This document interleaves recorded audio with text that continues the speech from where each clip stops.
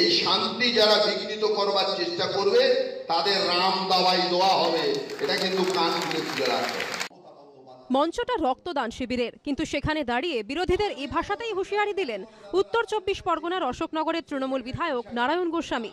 Ashoknagar town হলে রক্তদান শিবিরের আয়োজন করেছিল যুব তৃণমূল কংগ্রেস। আমন্ত্রিত ছিলেন নারায়ণ গোস্বামী। সেখানেই ভাষণ দিতে গিয়ে বিরোধীদের আক্রমণ করে বসেন স্থানীয় তৃণমূল বিধায়ক।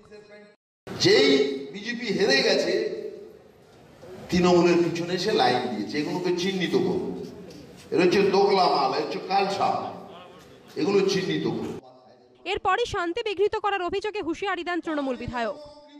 আমি বলি শান্তি বাংলায় থাকবে শান্তি অশোকনগরে থাকবে।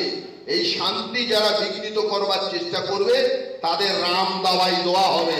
এটা কিন্তু কান খুলে তুলে রাখবে রক্তদান শিবিরে গিয়ে কেন বিরোধীদের হুঁশিয়ারি? পরে তার সাফাইও দেন তৃণমূল বিধায়ক। সিপিএম কংগ্রেসের যে জোট, ভাইজানের যে জোট, তারা কোথাও কোথাও শান্তি বিঘ্নিত করতে চাইছে। পুলিশকে আমরা বলছি, পুলিশ কড়া হাতে সেগুলো মোকাবিলা করবার চেষ্টা করছে।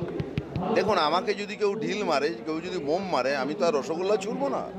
স্বাভাবিকভাবে আমাদের কর্মীদের মানসিক সেই জোরটা রাখার জন্যে আমরা এটা বলেছি এখান থেকে নিজেদেরকে তৈরি করতে হবে, প্রতিরোধ তৈরি করতে হবে।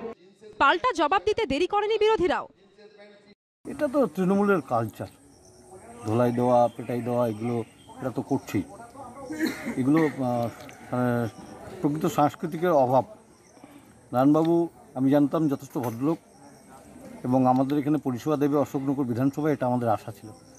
কিন্তু উনি এখন যদি ধোলাই দিতে শুরু করেন, পরবর্তীতে কি হবে? এখানকার জনগণ তার ট্রিট করবে। এটা তো কোনো রাজনীতির ভাষা না। তবে উনি তো অশোকনগরের সংস্কৃতি সম্পর্কে কোনো ধারণা নেই, অশোকনগর তো মানুষ না। এটা জেনে রাখা ভালো যে রামদালা দোলাই হলে পরে, রামদাওয়াই হলে পরে একটা শ্যামদাওয়াই বলে কথা আছে। সব মিলিয়ে তৃণমূল বিধায়কের হুঁশিয়ারিকে কেন্দ্র করে তুঙ্গে রাজনৈতিক চর্চা সমীরণ পালের রিপোর্টে বিপি আনন্দ, উত্তর চব্বিশ পরগনা।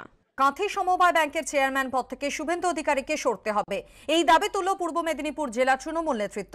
শাসক দলের ভূমিকা নিয়ে কটাক্ষ করেছে বিজেপি। এ বিষয়ে নন্দীগ্রামের বিধায়কের সঙ্গে যোগাযোগ করা হলেও তিনি কোনো জবাব দেননি। কাঁথি সমবায় ব্যাংকের চেয়ারম্যান পদ থেকে অবিলম্বে ইস্তফা দিতে হবে বিজেপি বিধায়ক শুভেন্দু অধিকারীকে। এই দাবি তুলল পূর্ব মেদিনীপুর জেলা তৃণমূল নেতৃত্ব। এই নিয়ে রবিবার বিকেলে রামনগরের তৃণমূল বিধায়ক তথা মৎস্যমন্ত্রী অখিল গিরির নেতৃত্বে অবস্থান বিক্ষোভ করে শাসক দল। যে গভর্নমেন্টের সমালোচনা করে, যে সরকারের সমালোচনা করে, তাকে দিল্লির সরকার কন্টাই কোপারেটিভ ব্যাংকে দয়ায় থাকেনি। এই যে ব্যাংকে কেন্দ্রীয় বাহিনী নিয়ে আসে, এই ব্যাংকে যখন ঢুকেন, সেটা রাজ্য সরকারের দয়া, মমতা ব্যানার্জির দয়া, তিনি ব্যাংকে এখনও ক্ষমতায় আছেন। আর গাড়ি থেকে নেমেই তিনি রাজ্য সরকারের সমালোচনা করছেন। সমালোচনা করবেন তো ব্যাংকের চেয়ারম্যানশিপটা ছেড়ে দিন না। পদত্যাগ করে দিন। দু সাল থেকে টানা তিনবার কাঁথি সমবায় ব্যাংকের চেয়ারম্যান পদে রয়েছেন শুভেন্দু অধিকারী। শেষবার চেয়ারম্যান পদে নির্বাচিত হন দু হাজার সতেরোতে। তৃণমূল নেতৃত্বের দাবি, সমবায় আইনের এগারো নম্বর ধারা অনুযায়ী কেউ টানা তিনবার চেয়ারম্যান থাকতে পারেন না, কিন্তু এক্ষেত্রে নিয়ম মানেননি শুভেন্দু অধিকারী। এছাড়া ক্ষমতার অপব্যবহার করে আর্থিক তছরূপ, কর্মী নিয়োগে বেনিয়মও করেছেন তিনি। আর এই প্রসঙ্গেই পাল্টা তৃণমূলের ভূমিকা নিয়ে প্রশ্ন তুলেছে বিজেপি। প্রলাপ বুকছে সমিতি কোঅপারেটিভ এগুলো বোঝার জন্য অনুভব থাকলে, বই পড়লে বোঝা যায়। তার জন্য সবাইকে সমিতিতে থাকতে হয়। এই বিষয়ে শুভেন্দু অধিকারীকে মোবাইল ফোনে বারবার যোগাযোগ করা হলেও তিনি ফোন ধরেননি। ঋত্বিক প্রধানের রিপোর্টে বিপি আনন্দ, পূর্ব মেদিনীপুর।